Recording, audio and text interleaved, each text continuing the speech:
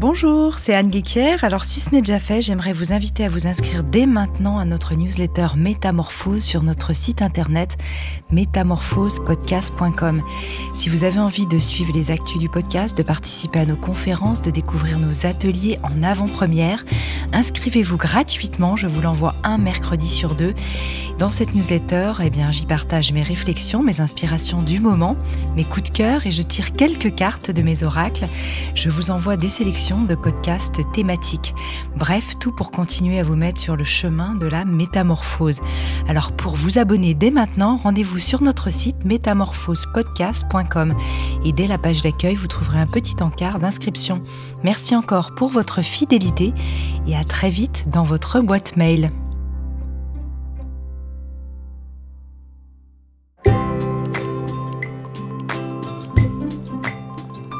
Bienvenue dans la saison 6 de Métamorphose, le podcast qui éveille la conscience. Au fil des semaines, je vous invite à découvrir avec moi des sujets inspirants portés par des personnalités lumineuses pour cheminer ensemble vers un éveil des consciences. Métamorphose, le podcast qui éveille la conscience. Tous les lundis et jeudis dès 7h. Aujourd'hui, nous allons parler de créativité et nous allons voir si cette créativité, elle est innée ou acquise. Certains pensent qu'ils ne sont pas du tout des créatifs, alors que on va voir qu'on est probablement, nous, en tant qu'humains, euh, tous des créatifs en puissance. Et avec Alexandre, on est, on est des créatifs dans l'âme, même si cela ne s'exprime pas forcément de manière artistique. Mais on aime créer, que ce soit des entreprises, des projets, des livres, des événements. Mmh. Et dans cet épisode, nous allons nous questionner sur comment stimuler la créativité et là, on va regarder aussi du côté de l'écrivaine euh, Julia Cameron, qui enseigne depuis 30 ans l'art et la créativité, qui nous rappelle que notre artiste créateur est notre enfant intérieur. Moi, je trouve ça super intéressant. Et on va se référer à son livre best-seller qui s'appelle Libérer votre créativité, qui est aujourd'hui considéré un peu comme la Bible des artistes. Mhm. Je suis ravie de te retrouver, Alexandre Dana, aujourd'hui pour cette conversation du Scarabée. Bonjour. Bonjour Anne. Tu vas bien? Je vais très bien. Alors, comment tu l'as lu d'abord ce livre de Julia Cameron? Je l'ai lu plusieurs fois et j'ai fait tous les exercices. C'est vrai? Oui, c'est un livre qui euh, permet de se mettre en action. C'est vraiment une de ses qualités premières. Euh, c'est pas simplement une série de pages avec des conseils généraux sur la créativité. Elle te pousse à mettre en place toute une série de rituels au quotidien pour réveiller ta créativité. Hmm. Et ça fonctionne. Et d'ailleurs, c'est un mouvement euh, assez international. Hein. Le, succès de ce livre, il y a des clubs euh, de créativité, euh, Julia Cameron, qui, ont, qui sont apparus euh, dans tout un tas de pays. Et je, pense qu'à une certaine époque, ça m'aurait aidé de rencontrer d'autres personnes créatives. J'ai eu du mal à, à, comprendre mon propre rapport à la créativité seul dans mon coin. Je ne sais pas si, si tu as eu le même sentiment.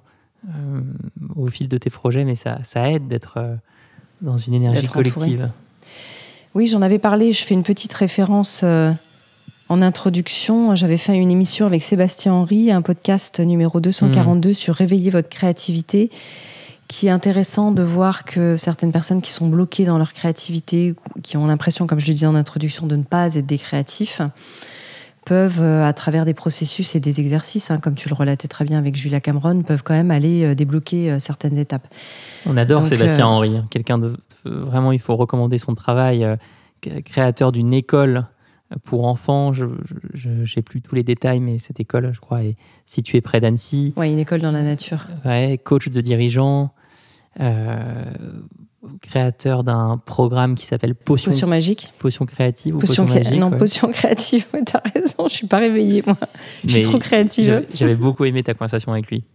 Ouais, alors la créativité, justement, je suis allée regarder dans le dictionnaire la définition.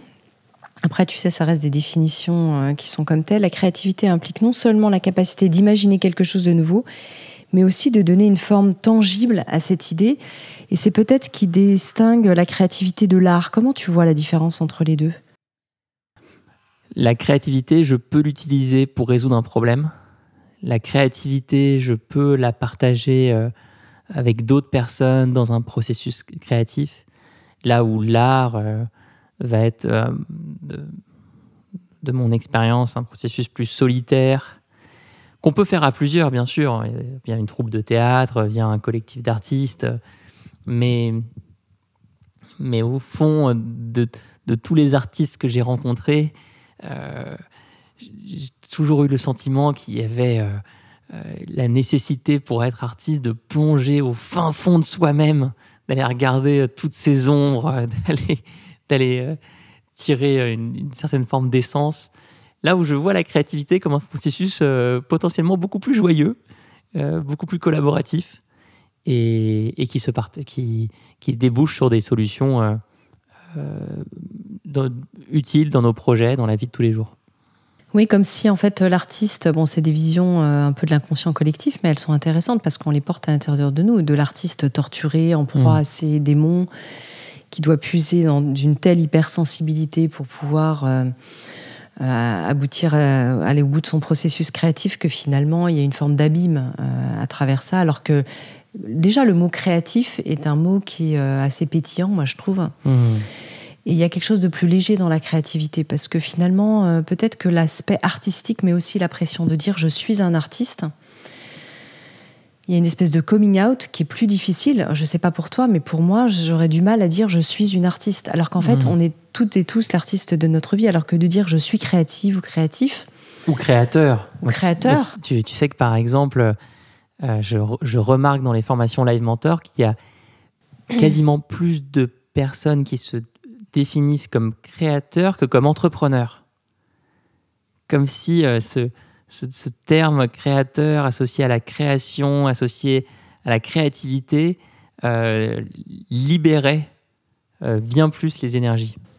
Oui, parce qu'on dirait je suis créateur, créatrice du podcast Métamorphose, tu es créateur, fondateur de Live Mentor tu ne dirais pas je suis l'artiste de, de, cette œuvre qu'est Live Mentor. ça, tu vois, ça te fait marrer parce que ça ferait bizarre de l'entendre comme ça. Et pourtant, pourquoi pas? Est-ce que nos entreprises ne sont pas des, des formes d'œuvres d'art finalement, puisqu'elles sont destinées à. Bah, parfois, c'est un vrai théâtre, ça c'est sûr.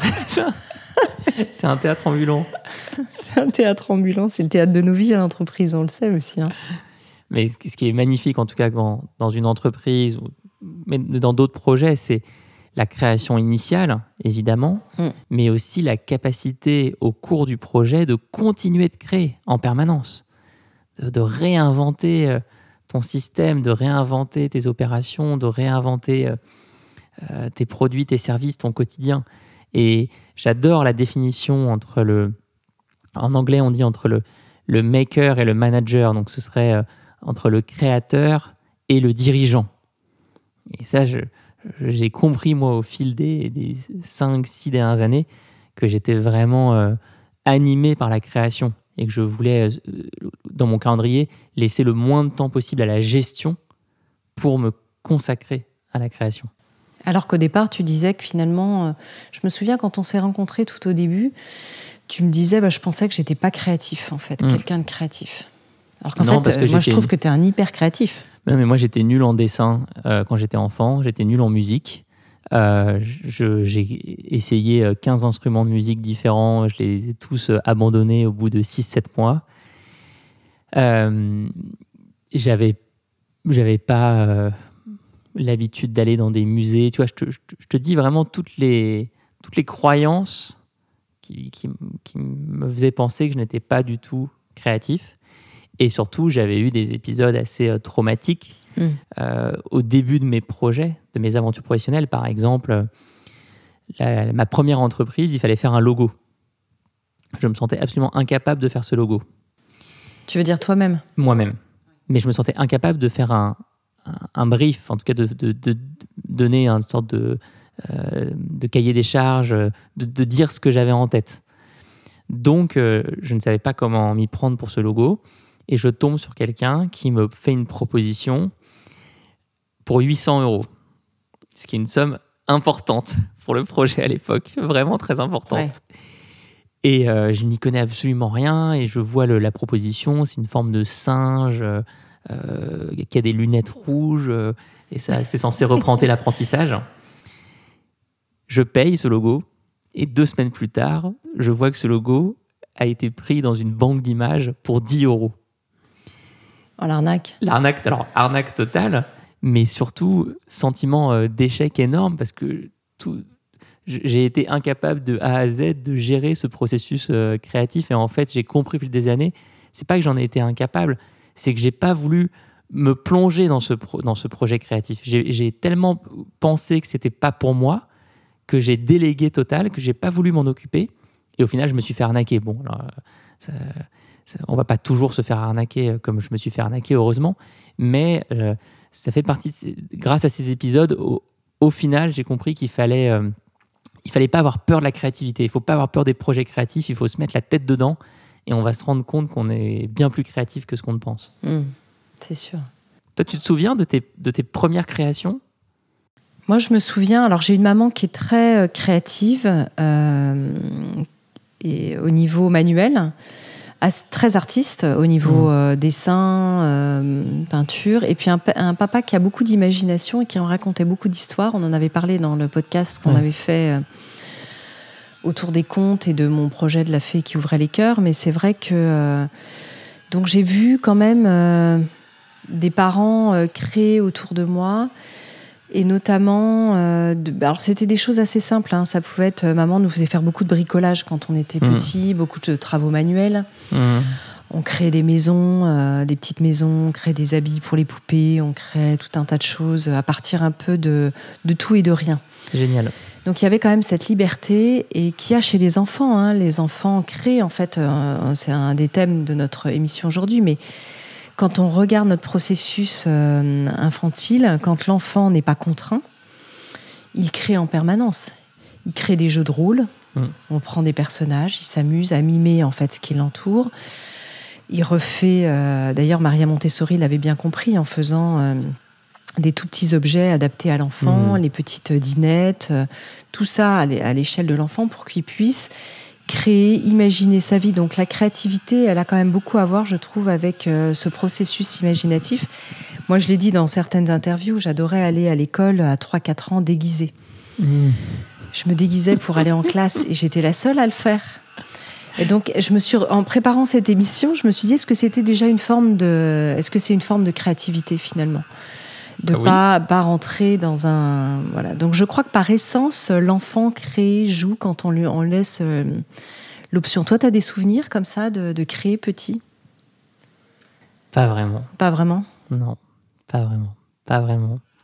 Mais je trouve que c'est un, c'est une super activité. Euh, à faire avec ses enfants, effectivement, de leur faire faire des, des, des maisons, du bricolage.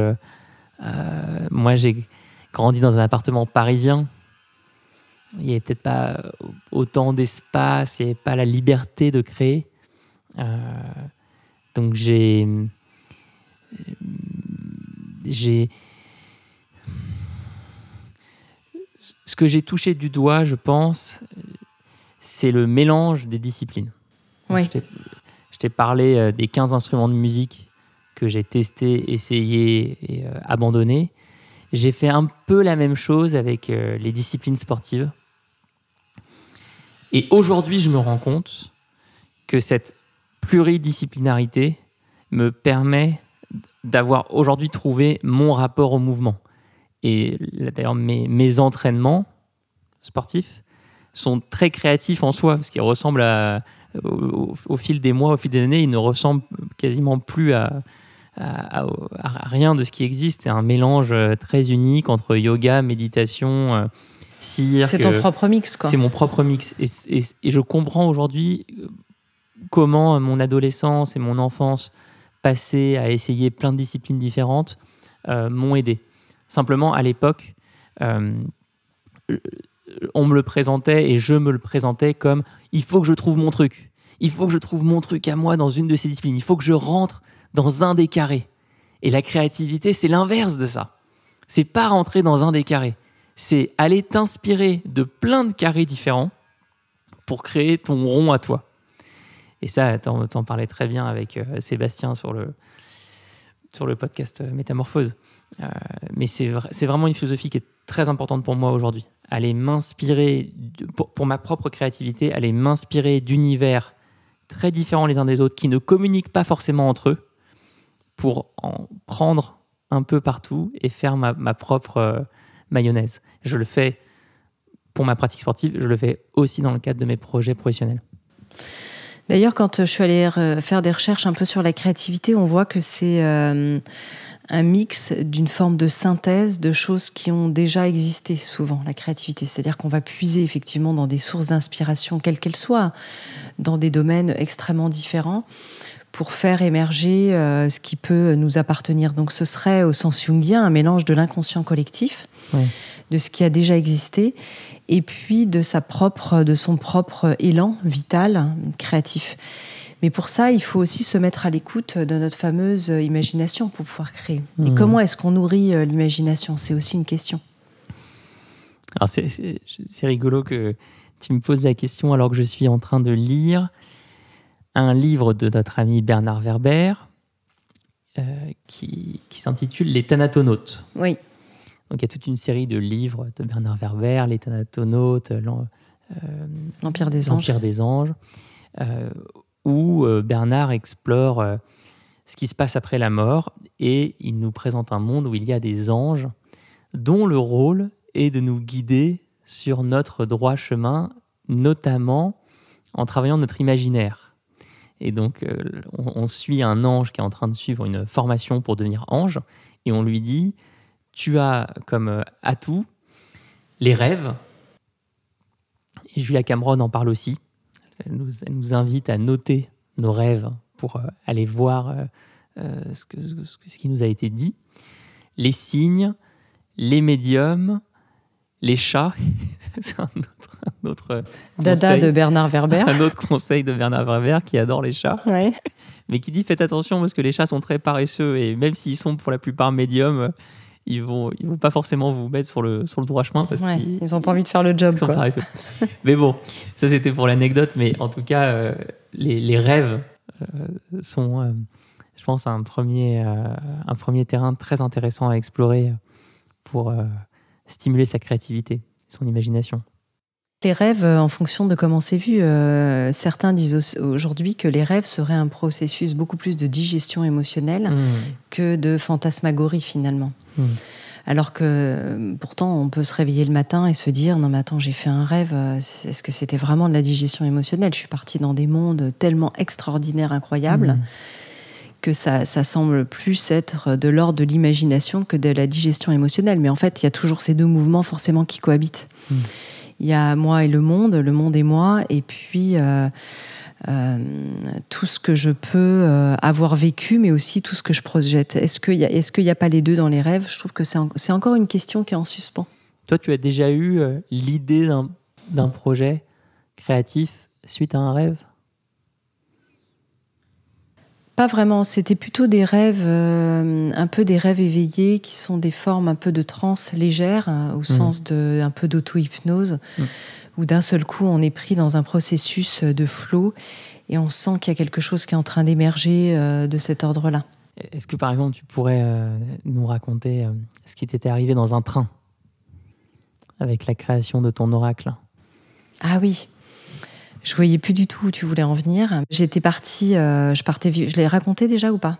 Je, Tu me l'as raconté hors antenne. Je ne sais pas si tu l'as déjà raconté dans un podcast, mais dans un épisode sur la créativité, ça me semble être à propos. En fait, c'était mon premier projet euh, de carte métamorphose, qui était euh, non pas l'oracle de la métamorphose, mais euh, son ancêtre, qui était un hmm. coffret voilà, de cartes qui s'appelait Métamorphose.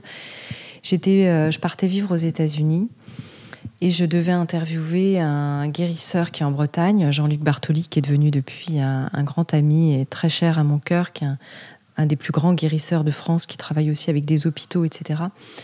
Et donc pour le magazine Féminin Bio, je voulais absolument l'interviewer. Et euh, il, fallait, il fallait que je fasse Paris-Saint-Brieuc. Il est installé en Bretagne avec un changement. C'était assez long, j'en avais peut-être pour 4 euh, heures de train à l'époque, quelque chose comme ça. J'étais plein en train de faire mes cartons pour partir vivre aux US, donc c'était pas du tout le moment de, de commencer à aller me balader en Bretagne. J'aurais je pouvais très bien faire l'interview par téléphone, je l'avais jamais rencontré. Je sentais que je devais rencontrer absolument cet homme et je ne savais pas pourquoi. Il y avait quelque chose qui me qui me poussait à y aller quoi qu'il arrive, alors que c'était vraiment pas raisonnable. Donc je pars en train, j'y vais. J'avais un boulot de dingue, je sors mon ordinateur. Et au moment où je sors mon ordinateur, je le regarde et je me vois refermer cet ordinateur. Je le range et je sors un carnet. Et là, je me suis mise à écrire des phrases, des phrases, des phrases pendant quatre heures qui ont coulé comme ça de source, qui se sont écrites presque en, canalisation, en écriture automatique. Alors, ces phrases n'étaient pas euh, indépendantes de moi, parce que forcément, je disais tout à l'heure, c'est des processus co-créatifs. Mmh. C'est-à-dire qu'on canalise ce qu'il y a dans l'inconscient collectif et ce qui aussi fait partie de notre personnalité, de notre psyché, ce qu'on a, ce qu'on a accumulé. Donc il y a vraiment toujours ce double mouvement. Et je me suis mise à écrire, à écrire. Ça a été une rencontre avec Jean-Luc euh, extraordinaire. Et voilà, donc c'est comment un processus créatif s'est incarné et s'est mmh. mis en route. J'en ai fait ensuite un coffret, j'ai remis ces phrases euh, dans l'ordre. Et je me suis dit bah, finalement peut-être que toutes ces inspirations elles peuvent aider des personnes à cheminer. Donc après j'ai travaillé tout le processus créatif autour. Je me suis entourée d'une d'une artiste euh, amie Marie Ollier qui a fait des dessins autour de ces euh, de ces citations et de ces inspirations. Évidemment que cette rencontre qui était très forte avec cette euh, avec cet homme qui est un grand guérisseur donc qui est dans des énergies aussi peut-être particulières n'était pas anodin dans ce processus créatif. Ça m'a donné un espace. J'étais peut-être déjà dans un état d'esprit où je me suis mise finalement en disposition euh, inconsciemment. Mmh. Mais j'ai été comme euh, possédée par quelque chose qui m'échappait et euh, je le devais écrire ça. C'est pas que je voulais, c'est que je devais l'écrire. Je ne pouvais pas faire autrement. Quand ça arrive de cette manière-là, moi je trouve que c'est assez merveilleux parce que c'est magique. Ça t'est déjà arrivé ce genre de, de processus? Alors, j'ai pas connu ce genre de session de 4 heures d'affilée en écriture automatique, par exemple, euh, mais euh, à deux reprises, euh, l'idée de mes livres m'est tombée dessus. J'ai écrit et publié deux livres ces dernières années. Et à chaque fois, euh, ça a été la même chose. Euh, j'avais envie d'écrire un livre, euh, je savais à peu près le thème, je commence à réfléchir à l'idée pendant un mois, deux mois, trois mois, quatre mois, au moins six mois. Pour, pour être bloqué, pour, pour, pour finir complètement bloqué, je j'arrive pas à trouver un titre, j'arrive pas à trouver un sommaire qui me va, j'arrive pas à être clair sur le style d'écriture que je veux. Et à chaque fois que je me mets sur mon bureau et que j'allume l'ordinateur pour progresser, je ne progresse pas. Et les déclics créatifs ont eu lieu à des moments où je m'y attendais pas du tout. La première fois, ça a été lors d'une randonnée dans les Calanques près de Marseille, où j'avais enfin pris euh, quelques jours off euh, après euh, une période de six mois de travail intense sur plein de projets. Et alors que je suis en train de monter euh, euh, une des calanques, euh, là tout de suite, ça me tombe dessus. Je fais le lien avec un livre, je pense à un livre de fiction qui est un dialogue permanent entre deux personnes. Et je me dis, mais en fait, mon livre, mon premier livre, ça doit être ça. Ça doit être un dialogue entre quelqu'un qui veut monter un projet et un mentor qui l'accompagne. Et je vais l'écrire comme ça. Oui. Hop, une conversation. C'était clair, quoi, pour toi. C'était clair. Je suis rentré. En un mois et demi, le livre était plié. Deuxième, euh, deuxième livre. Euh, je sais que je veux faire un livre autour de la santé mentale. Pareil, je mets sur le sommaire, j'ai des échanges avec un éditeur. Ça bloque, ça bloque, ça bloque, ça bloque. Je pars euh, dans une forêt pour un week-end avec des amis. on, on procède à pas mal de sessions de méditation, d'hypnose, euh, différentes activités qui nous mettent quand même en état de conscience euh, légèrement modifié. Et à un moment, à 1h du matin, pareil, ça tombe. C'est vraiment cette image que quelqu'un ouvre la porte, une des portes de ton cerveau. ça tombe dessus. Et l'idée est là, évidente, et surtout ce qui est troublant, c'est qu'une fois qu'elle est là, c'est vraiment Eureka. Oui. En ce moment, tu dis, ça, ne peut plus être autre chose. Et ensuite, tu as ton, tu as ton guide qui ne va plus te lâcher jusqu'à la fin du projet. Hmm. Ça, c'est merveilleux. Quand ça arrive dans le processus créatif, c'est absolument exceptionnel. Alors simplement pour nos auditrices et nos auditeurs, deux choses. Un, vous l'entendez peut-être, nous ne sommes pas dans le studio habituel de Métamorphose et il y a des gens qui font des travaux à l'extérieur, donc j'espère que ça ne vous gêne pas trop pour l'écoute de cette émission. La deuxième chose, avec Alexandre, on adorerait que vous nous racontiez sur les réseaux sociaux vos processus créatifs. Hmm. Vous avez une idée comme ça qui vous est tombée dessus, ou alors vous avez cheminé par rapport à la créativité. Partagez-nous en fait euh, vos processus créatifs qui soient spontané ou finalement euh, construit. Complètement, ouais. Parce que comme tu le disais, comme le dit aussi très bien euh, Sébastien Henry, il y a des, euh, des procédés qui peuvent permettre de réveiller cette créativité.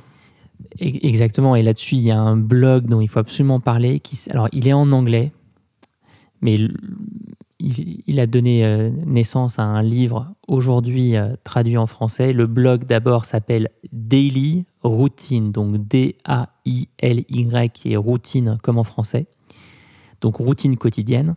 Et l'auteur de ce blog a recensé des routines de philosophes, de mathématiciens, d'écrivains, de, réalisateurs, de peintres, et c'est leur, routine créative. Et donc tu vas, tu vas trouver, il y a des catégories. Par exemple, les lève tôt ou les couches tard ou ceux qui marchent, ou ceux qui sont euh, quasiment immobiles euh, toute la journée. Et c'est incroyable de voir toute cette diversité de routines sur des personnes qui, qui ont toutes fait preuve d'une créativité euh, exceptionnelle. Le livre s'intitule en français, je crois, on mettra le lien peut-être exact en, en, description, Routine de génie, génie créatif. C'est, ça m'a beaucoup inspiré. De ce que j'entends de ce que tu disais, c'est que toi, tes idées, elles sont venues principalement quand tu étais dans des endroits de nature déconnectés. C'était pas une table, voilà, c'était pas une table, un bureau. Complètement. Déconnexion, mouvement, nature. Les trois. Le triptyque. Le triptyque, et c'est d'ailleurs pour ça que j'adore euh, euh, proposer euh, des activités de ce type à des amis. Tu vois, toi et moi, on part souvent en, randonnée ensemble. Et à une autre époque, quand j'étais complètement euh, addict au travail, je me serais jamais autorisé à faire ça, à partir en semaine, marcher une journée, deux mmh. journées. Je culpabilisais, je me disais mais non, tu vas prendre du retard sur ton travail. L'expérience de la créativité m'a montré que ces moments-là étaient indispensables. Si je veux être un entrepreneur euh, efficace, productif, tu mets le terme que tu veux, euh, en fait, c'est là que les idées vont jaillir qu'elles vont émerger. Donc il faut, euh, il faut sortir de son poste de travail, il faut sortir de la sédentarité, ça j'en suis euh, convaincu. S'extraire de son milieu euh, habituel permet de prendre du recul. Moi, c'est souvent aussi lors de grands. Moi, j'aime bien l'été faire une grande pause. Hmm. Même si l'antenne de métamorphose continue, on enregistre beaucoup de choses en avance pour que je puisse m'octroyer vraiment presque, je dirais, 5-6 semaines d'affilée pour permettre euh, d'aller à l'intérieur de soi et de s'autoriser ce temps de germination qui permettent en fait aussi aux idées d'éclore. Quand on parle d'idées créatives, ça peut être simplement euh, d'y voir plus clair, mm. qui est aussi une forme de créativité, de dire euh, là je suis en pilote automatique, je suis dans un mood créatif où c'est toujours les mêmes autoroutes neuronales qui se font. Ma créativité, elle ne va en fait que dans un sens qui sont euh, la force de l'habitude. Alors que quand je m'extrais, que je sors de ça et que je déconnecte de tout ça pendant un temps assez long, je trouve, mmh. permet de laisser cette graine se poser sans forcément se poser de questions en disant ça va venir, simplement laisser jaillir ce qui vient. Et à un moment donné, je trouve qu'il y a quelque chose qui se clarifie dans le terrain de jeu de la vie. D'un seul coup, j'y vois clair sur les options. D'un seul coup, euh, justement, j'ai des idées nouvelles qui se mettent en place. J'ai des connexions que j'avais pas vues, qui étaient pourtant, comme tu dis, évidentes, qui se, qui se mettent entre elles. Ensuite, il faut pouvoir avoir ce luxe de pouvoir s'offrir ces espaces-là. Donc, c'est comment dans ma vie je peux organiser ce temps-là mm. pour pouvoir le faire, sachant que moi, je vois bien à quel point euh, le fait de pouvoir m'autoriser à prendre ce temps me met en situation d'extrême stress les semaines qui mmh. précèdent ce temps de pause. Mmh. Donc, euh, c'est pas toujours, toujours bénéfique au bout du compte. Mais c'est une vraie question. C'est une, vraie question. On a, on a reçu euh, récemment Alejandro Jodorowsky euh, sur Métamorphose. Et moi, je ne peux pas parler de créativité sans raconter à quel point Jodorowsky a été ma plus grande inspiration créative à ce jour. Découvrir son parcours, découvrir le courage qu'il a eu tout au long de sa vie de changer d'univers, de sortir de sa zone de confort, pour in fine devenir un des plus grands créatifs de notre époque, hmm. euh, a été une inspiration totale. Donc, pour rappel, Jodorowsky, Alejandro Jodorowsky, est né au Chili, de parents russes et chiliens. Il a commencé sa carrière en étant metteur en scène au théâtre, puis il a été réalisateur de films avec un grand succès qui a été El Topo. Puis il a été dégoûté par le cinéma lorsqu'il n'a pas réussi à récolter les 10 millions d'euros nécessaires pour financer son film de rêve sur Dune, le livre de science-fiction. Il a donc quitté le cinéma pour se mettre à la bande dessinée, où il a créé des bandes dessinées fantastiques euh, avec un dessinateur euh, qui s'appelle Möbius, qui avait fait le storyboard du film qui n'a jamais eu lieu, Dune. Mm.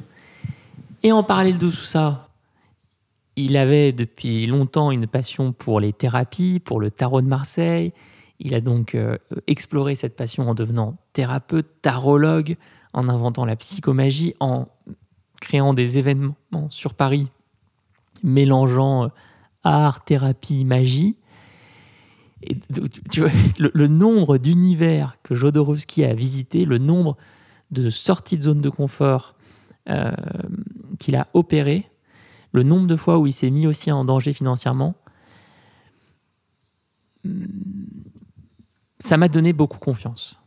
Mais c'est vrai qu'il le dit, hein, d'ailleurs, dans l'interview, je crois qu'il le rappelle, qu'il vient d'un pueblo, une pueblocito, un tout petit euh, bled euh, au fin fond du Chili. Euh.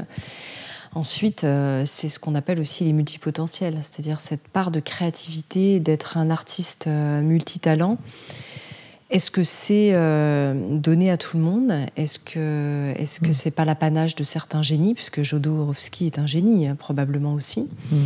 Est-ce que nous sommes tous appelés euh, à créer dans plusieurs domaines différents et à faire de notre vie euh, une forme d'œuvre d'art? On le disait au début de cette mm. émission. Est-ce que finalement, si on voit nos vies comme de comme des comme quelque chose vraiment de, profondément artistique. Qu'est-ce que j'ai envie d'exprimer de moi euh, mm. dans cette, euh, dans cette vie-là? Qu'est-ce que j'ai envie d'exprimer de ma sensibilité, de mes talents, de mes dons, de mes élans, de mes désirs? Tout ça, c'est des questions euh, qui sont en germination. Alors, c'est sûr que j'entends, on en a parlé aussi avec Franck Lobvet dans une conversation récente, beaucoup d'opposition, de personnes qui disent Non, mais attendez, là, vous êtes dans l'entre-soi, vous dites ça parce que vous êtes des entrepreneurs, vous avez peut-être les moyens de vous offrir, euh, de, vous poser ces questions, mais il y a beaucoup de gens qui ont du mal à boucler les fins de mois et qui euh, ne pourraient pas euh, mettre ça en place. Donc ça, c'est une vraie question. Oui, mais la, créativité peut aussi être une manière de sortir d'une difficulté financière. En tout cas, c'est ce que j'ai vécu. dans, dans, mon parcours, mes 5-6 premières années d'entrepreneuriat étaient des années d'échecs quasi totale. très concrètement, euh, je gagnais difficilement un SMIC chaque mois. Et à cette époque-là, je n'étais pas du tout créatif. Je répétais constamment les mêmes tâches, les mêmes missions. Je faisais mon travail de manière extrêmement monotone en me disant c'est une question d'effort. Fais plus d'efforts, Alexandre. Bosse plus. Refais plus. Plus tôt le matin, plus tard le soir. Ça n'a pas marché. Du tout. Et quand enfin, au bout de six ans, j'ai décidé d'essayer des choses différentes, comme prendre enfin la parole en public, créer des euh, formats de conférences en ligne sur un, un peu innovantes, et tout de suite, cette fois, ça marchait. Le, résultat était là. Donc je, crois aussi vraiment euh, beaucoup dans la, la, puissance de la créativité pour euh, nous permettre d'améliorer notre situation comment je peux sortir de ma zone de confort pour aller dans ma zone de génie? C'est vraiment euh, cette question-là. Mm. Et puis l'autre question, on a fait un podcast sur la zone de confort, c'est est-ce que j'ai envie, est-ce que je peux sortir de ma zone de confort? On a vu dans cette émission à quel point euh, souvent j'ai l'idée que j'aimerais, Mais en réalité, euh, mon histoire, mes blessures, mes croyances font que je suis enquistée dans cette zone de confort qui, en réalité, me convient relativement bien, ou en tout cas une partie de mon mental. Et je n'arrive pas à faire le pas de côté pour aller au-delà. Et là, euh, l'entourage. Bien s'entourer. Joue énormément. Tu vois, pour, pour reprendre nos amis artistes, euh, ce qui est très inspirant, c'est de regarder le fonctionnement d'une troupe de théâtre, d'une compagnie de danse ou d'une troupe de cirque juste avant que le spectacle commence. Les, les bons collectifs d'artistes, ils vont s'encourager, se soutenir, ils vont avoir un cri de guerre, ils vont avoir tu vois, quelque chose. Hmm. Euh, qui les rassemble. Qui les rassemble. D'ailleurs, à notre, euh, à notre humble niveau, est-ce que tu me permets de partager euh, les, coulisses d'un podcast Métamorphose? Parce que dans les, les je sais pas ce que tu vas dire. Dans les, dans les coulisses de la création d'un podcast Métamorphose, il y a un vrai travail d'équipe hmm. qu'on n'imagine pas forcément quand on écoute le podcast.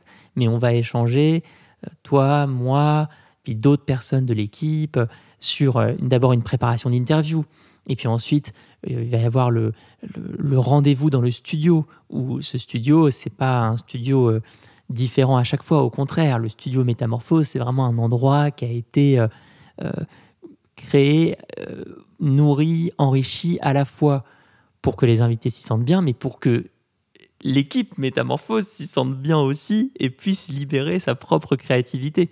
Et moi qui étais, je le sais, tétanisé euh, quand j'ai animé mon premier podcast, euh, ma toute première interview, j'étais, j'étais, euh, j'étais pas bien, quoi. j'étais vraiment pas bien. J'étais hors de ma zone de confort et je me suis dit, mais en fait, c'est peut-être pas pour toi de, de, faire des émissions audio. Et bah, in fine, ce qui m'a permis d'apprécier cette sortie de zone de confort, ça a vraiment été le travail d'équipe. Tes retours à toi, le studio, les personnes du studio. Donc, quand quand je vis une, zone, une sortie de zone de confort qui fait vraiment mal, je me pose la question est-ce que, en étant entouré peut-être différemment, euh, tout irait pour le mieux?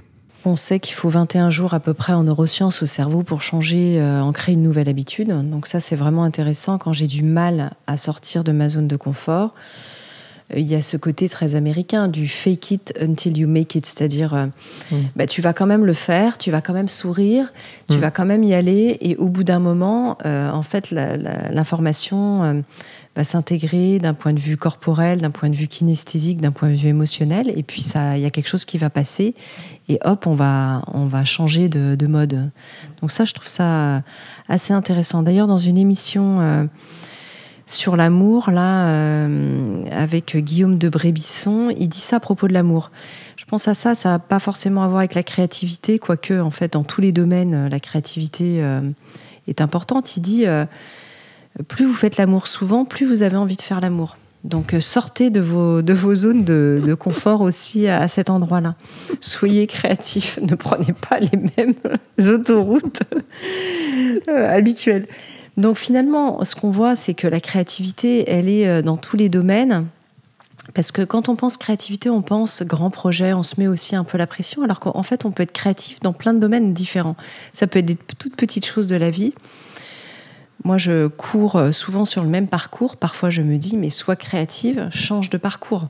Hmm. Euh, va courir dans, dans l'autre sens ou dans une autre direction pour pas faire toujours la même Là, euh, tu te souviens qu'on en a parlé à propos des zones de confort, de, cette idée de, tourner en rond sur nos habitudes qui à la fois nous rassure, mais en même temps nous enquiste. C'est clair. Et dans la, dans la pratique sportive, en ce moment, il est de plus en plus euh, prouvé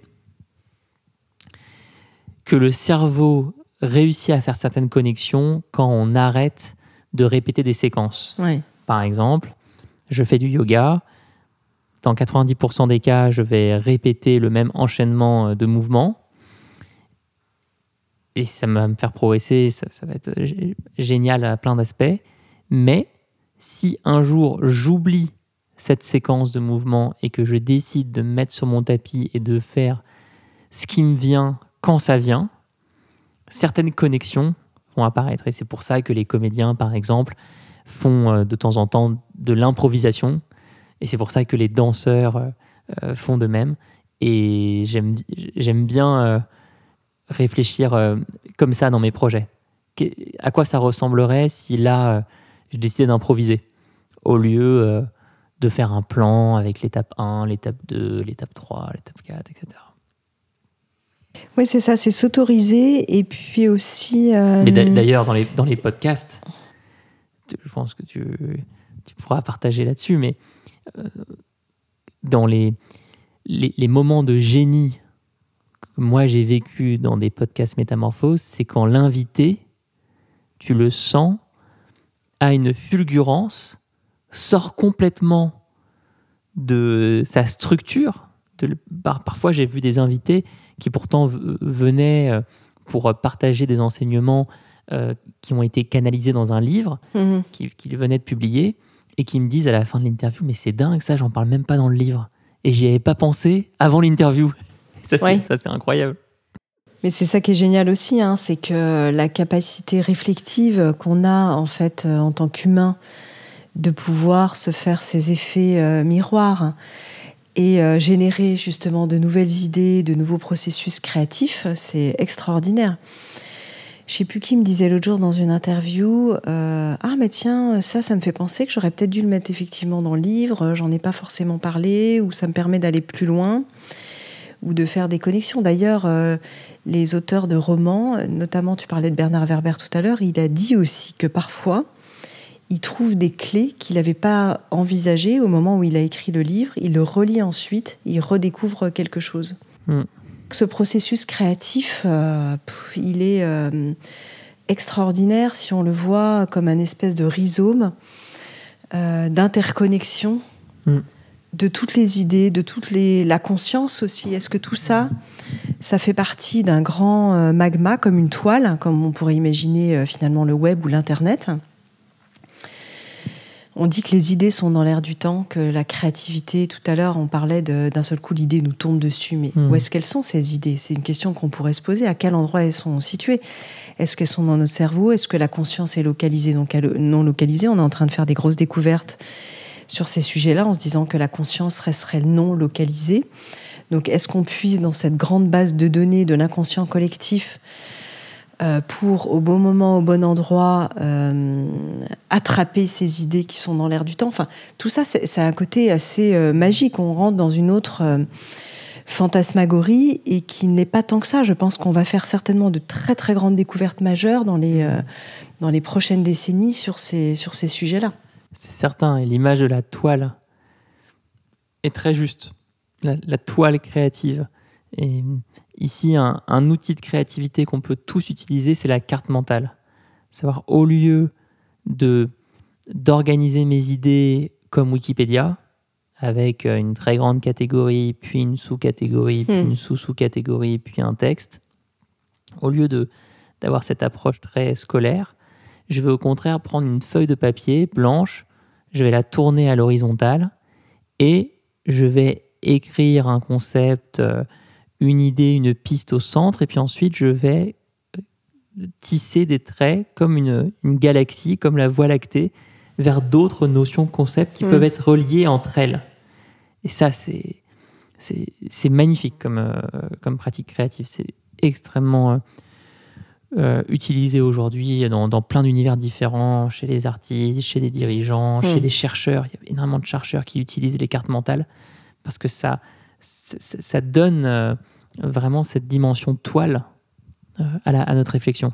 Ouais, ce sont des outils en fait d'itération, mm. comme le mind map par exemple. Moi, j'adore euh, chaque début d'année refaire un peu le mind map de comment je vois mon année. Mm. En visualisation. Alors après, on peut utiliser aussi de la sophrologie, de la cohérence cardiaque, de la méditation, des outils aussi de légère transe. Et donc toi, tu, ce mind map, tu, tu l'écris au début de chaque année. Oui.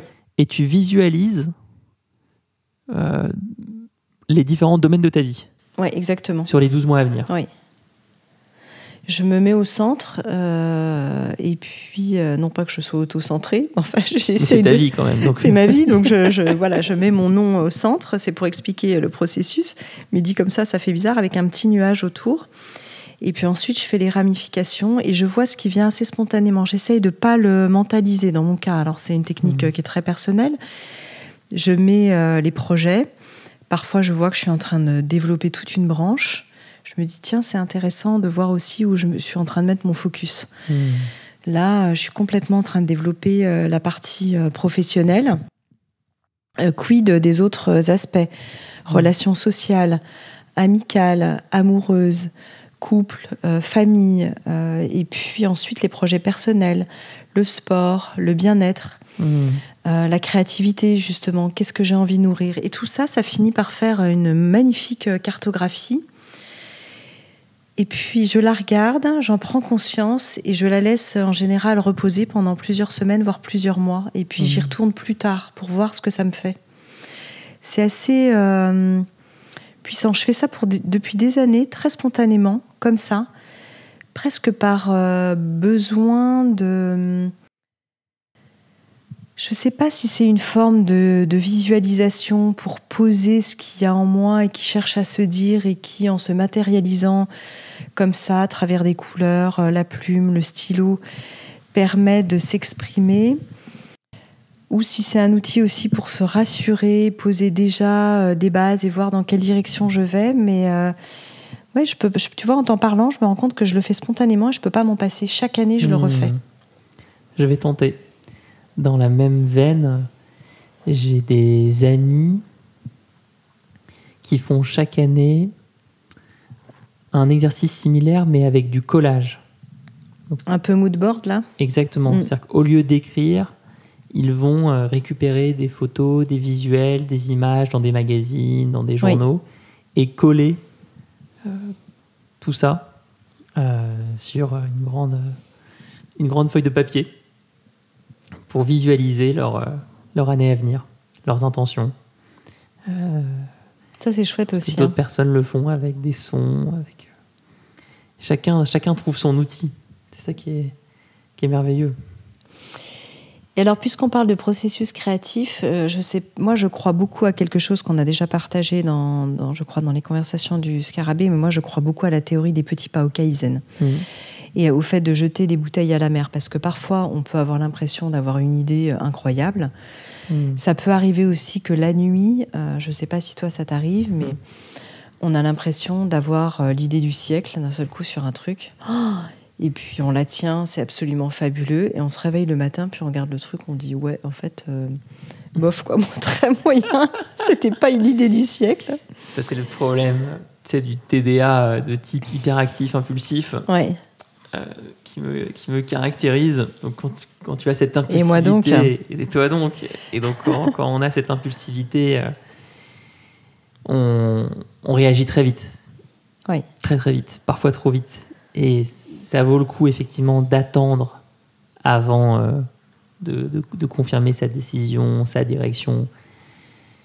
Ça, ça s'apprend malheureusement avec, avec les erreurs. Moi, le nombre de fois ces années où je me suis retrouvé euh, à un événement, par exemple, ou dans un, dans un projet en me disant Mais pourquoi tu es là-dedans Pourquoi tu t'es mis là-dedans?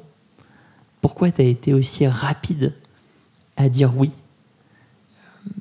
C'est ça. J'essaie de me rappeler ces moments pour. Euh, pour pas s'emballer, quoi. Pour pas s'emballer et pour distinguer la vraie créativité profonde euh, d'un fantasme, d'une sorte de, fausse étincelle. Hmm. Ça, c'est intéressant parce que ça correspond effectivement à nos profils euh, assez impulsifs, voire même parfois peut-être même compulsifs. Hmm de s'engager, euh, peut-être baisser euh, dans des projets pour des personnes qui, au contraire, auraient du mal euh, à y aller. La théorie en fait du Kaizen, elle fonctionne dans les deux cas très bien, et pour l'un et pour l'autre. Parce que pour mm. celui qui a peur de s'engager, bah, faire un premier petit pas, il y a beaucoup de gens qui se disent est-ce que je dois quitter mon job? Est-ce que je dois changer de projet, etc. Et j'ai vu aussi des gens se perdre dans une sorte de wake-up call où d'un seul coup ils sont allés à un mm. séminaire pendant deux jours, ça leur a retourné la tête, et ils ont tout plaqué du jour au lendemain. Et qui est-ce qu'on a retrouvé quelques mois plus tard en train de pleurer, en train de se dire j'aurais jamais dû faire ça? J'ai tout plaqué d'un coup et c'était pas ce qu'il me fallait. Donc moi je crois beaucoup au fait de jeter des petites bouteilles à la mer en disant mettez déjà un premier petit pas, euh, faites une petite action, nourrissez déjà un projet, commencez à, jeter des bases, parlez-en peut-être autour de, de vous. Et je trouve que la vie se charge extrêmement bien de nous montrer si on est dans le flou. Avec ces théories des petits pas, si ça résonne, si c'est fluide, Mm.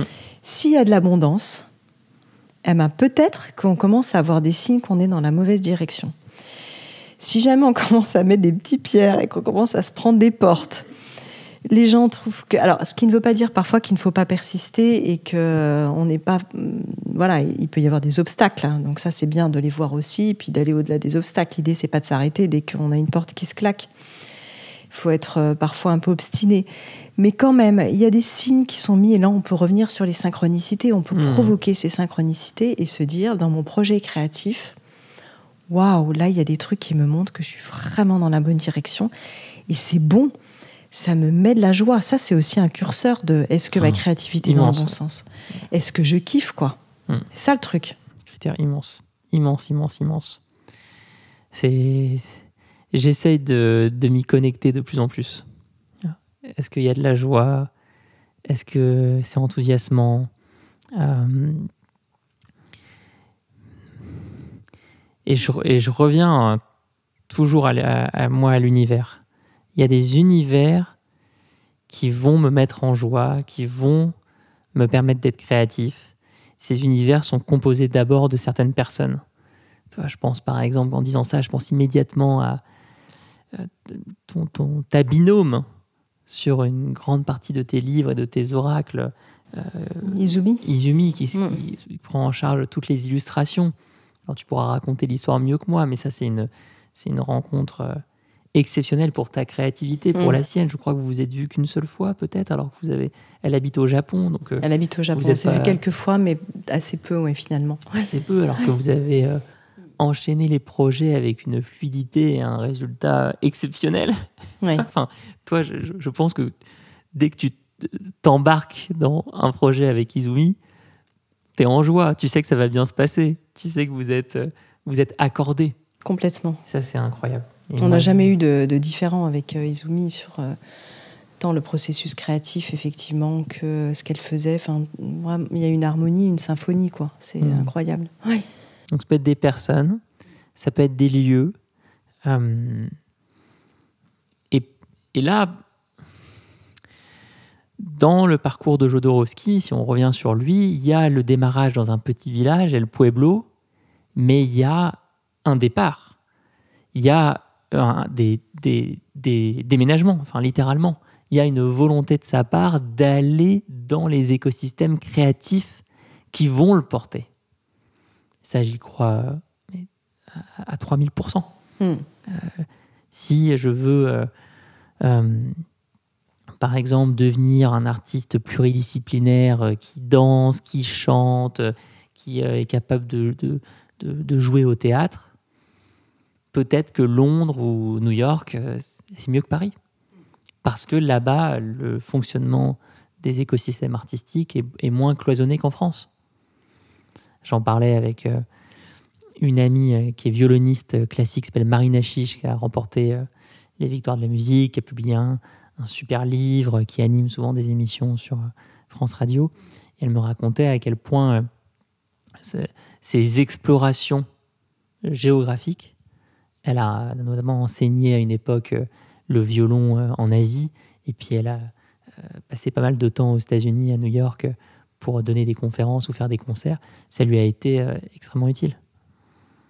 Ouais, ça a nourri euh, d'autre part euh, d'elle-même.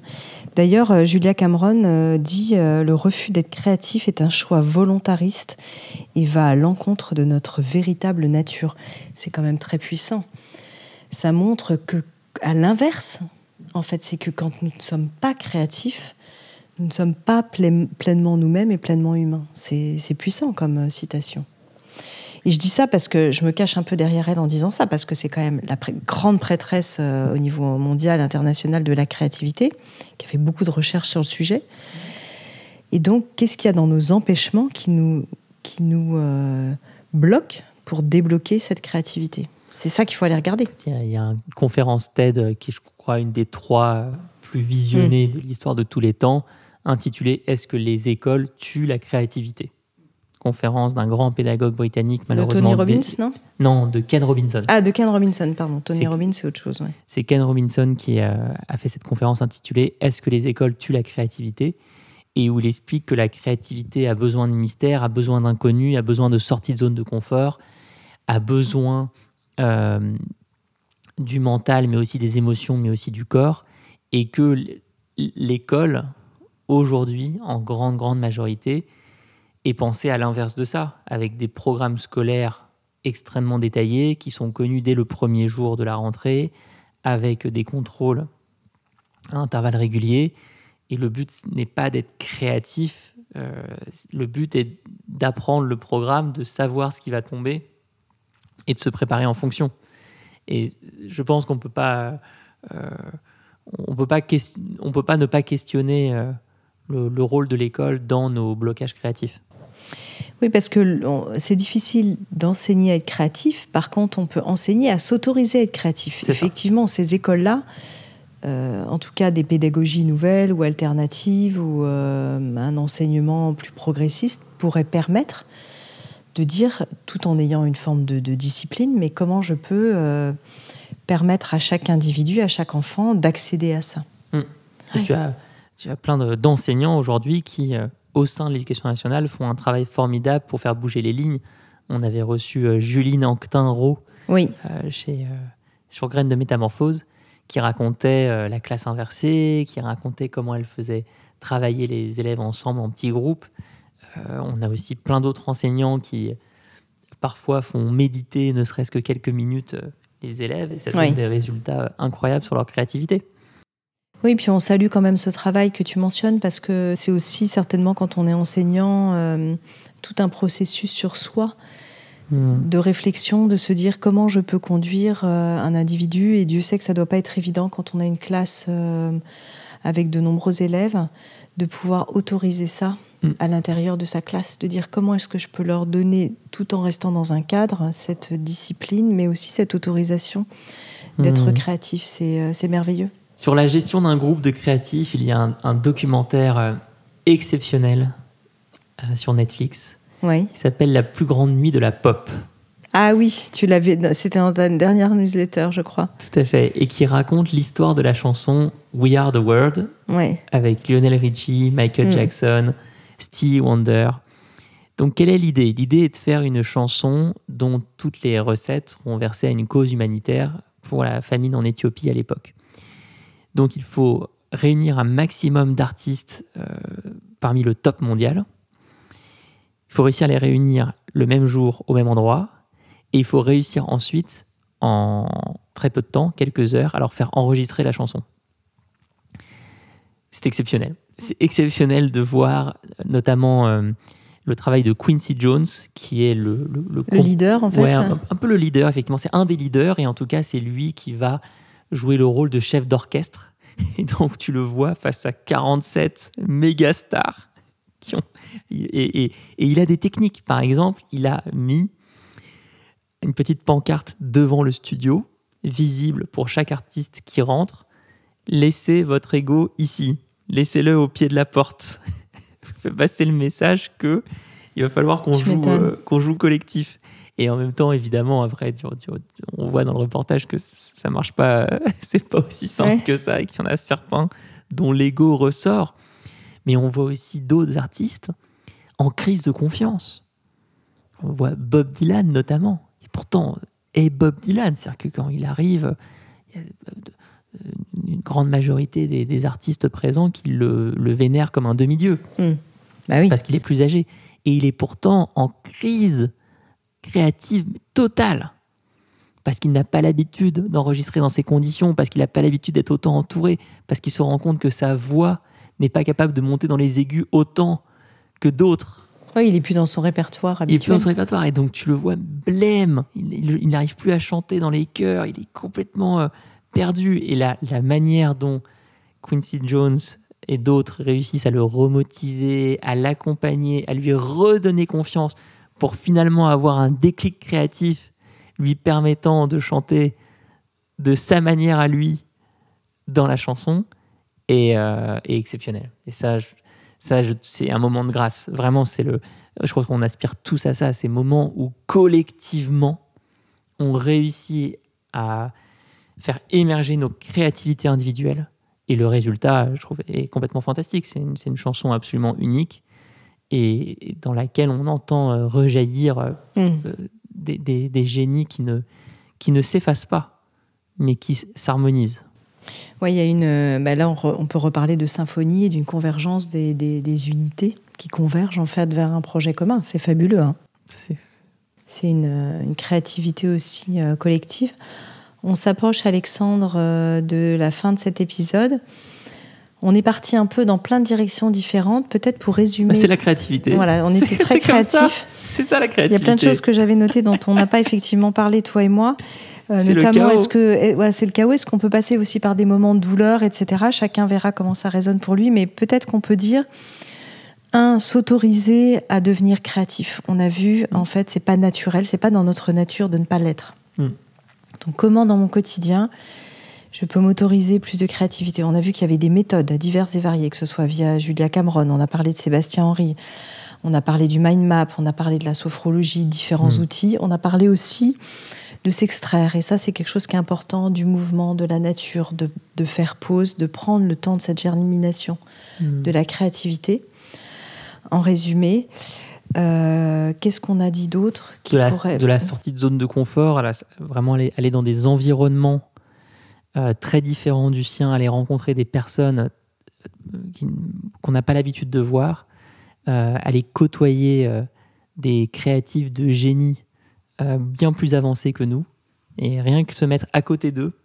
voilà prendre source, toutes ces sources d'inspiration. Et puis tu l'as dit aussi très bien, s'appuyer sur euh, peut-être un collectif autour de soi, avoir une équipe. Tu l'as rappelé avec les troupes de théâtre ou les artistes qui s'encouragent les uns les autres. Ou avec euh, toi et Izumi, enfin en tout cas. Voilà, ou l'équipe Métamorphose, et toi pour Live aussi, c'est pareil pour Live Mentor. avoir confiance dans notre capacité à trouver sur ce chemin le partenaire créatif. Tout le monde en a un, quelque part même on en a tous euh, plusieurs. Et ils vont, ils vont apparaître sur le chemin. Je me souviens aussi de Sébastien Henry qui lui disait euh, dans ce podcast euh, extraordinaire qu'on avait fait ensemble sur Réveiller votre créativité, numéro 242, se laisser inspirer, comme tu le disais à l'instant, par certains génies. Lui, il a été inspiré par des auteurs de livres, par des artistes. Donc mmh. c'est là peut-être, tu disais, j'allais pas forcément beaucoup dans les musées quand j'étais enfant. Peut-être que quelqu'un qui n'est pas allé souvent au musée ou dans la nature qui a peu voyagé peut se dire ah bah tiens peut-être que pour une fois je sors de ma zone de confort et je pourrais faire quelque chose que je mmh. n'ai jamais fait, voir comment ça m'inspire. Mmh. Tout simplement, ne serait-ce qu'observer ce que ça me fait, comment mmh. ça agit en moi. Je trouve ça merveilleux. moi, j'étais traumatisé, par exemple, de la danse. Pendant 15 ans, j'étais persuadé que danser, c'était pas pour moi. J'étais pas à l'aise. Je savais pas où mettre mes pieds, mes mains, le rythme. Je trouvais ça horrible il se trouve que euh, la vie m'a amené à un moment à vivre aux États-Unis et que pour vivre aux États-Unis, il faut un visa. Et que ma seule euh, façon d'avoir un visa, qui était d'ailleurs une façon assez créative, c'était d'avoir un visa étudiant à ah l'âge de 33 ans. Et sur quelle école je suis tombé Quelle école m'a accepté? Une école de danse classique, de ballet, en me disant, écoute, on veut bien te prendre en tant qu'étudiant, on a compris que tu étais un profil un peu particulier, par contre, il va falloir que tu fasses 14 heures de danse par semaine avec nous. Mais au bout de, trois semaines, j'adorais la danse. Alors que j'étais tétanisé quand même avant le premier cours. Excellent. Parce que j'étais le seul à n'avoir jamais dansé et en plus à ne pas du tout aimer ça. Mais, mais c'est fou euh, de voir que dès qu'on voit les codes, dès qu'on comprend les règles du jeu dans un univers créatif, euh, tout devient beaucoup plus simple. Et oui, je rappelle au départ que la citation de Julia Cameron, c'était notre artiste créateur et notre enfant intérieur. Et mm. l'enfant, il a envie de créer et de jouer. De toute façon, on le voit naturellement chez les petits. il faut comprendre les règles, euh, comprendre les règles du jeu. Voilà, c'est ça. Donc, comment est-ce qu'on peut renouer véritablement avec ça? Mm si euh, peut-être à l'issue de l'écoute de cette émission, ça vous a donné un nouvel élan créatif, ça vous a donné envie mmh. d'essayer la, théorie des petits pas du Kaizen, de vous lancer dans une formation, d'explorer quelque chose, dites-le nous en commentaire, ça nous fera vraiment de plaisir et ça nous donnera des idées. Euh, on va tous inscrire un cours de ballet à New York suite à, à notre émission. En tout cas, moi, ça m'a donné envie d'explorer des choses encore nouvelles et puis surtout de jouer. Parce que mm. finalement, euh, jouons, c'est ça aussi, euh, être humain. On va faire l'événement métamorphose. On va faire un événement métamorphose. Merci infiniment Alexandre Dana d'avoir partagé euh, ce moment-là aujourd'hui sur la créativité dans les conversations du, du scarabée. Et puis rendez-vous très bientôt pour une nouvelle conversation. Merci Yann, à la prochaine. Hâte de vous lire. Si vous avez aimé ce podcast, n'hésitez pas à lui donner 5 étoiles sur Spotify et surtout abonnez-vous gratuitement sur votre plateforme préférée pour ne manquer aucun épisode. Découvrez mes invités en avant-première sur Instagram à l'adresse Métamorphose Podcast et abonnez-vous aussi gratuitement dès maintenant à la newsletter Métamorphose pour être au courant de nos conférences, ateliers et de nos dernières actualités. Pour ça, rendez-vous sur notre nouveau site www.métamorphosepodcast.com. Métamorphose, le podcast qui éveille la conscience. Tous les lundis et jeudis dès 7h.